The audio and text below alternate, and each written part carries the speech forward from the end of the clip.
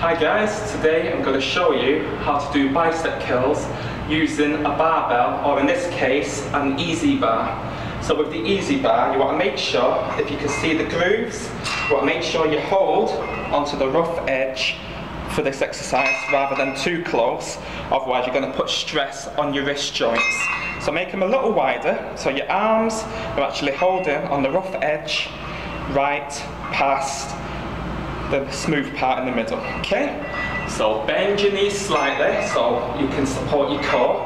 Okay, if you're too upright, you tend to sometimes lean back, put stress on the lower back. So bend your knees, you've got a strong foundation. Keep your core tight. Elbows glued to your sides, then you want to breathe out, curl up towards your shoulders, breathe in, slowly back down towards the thigh muscles. One more time towards your shoulders, nice and slowly, then slowly release, okay? So that's how you do bicep curls using the EZ bar or barbell.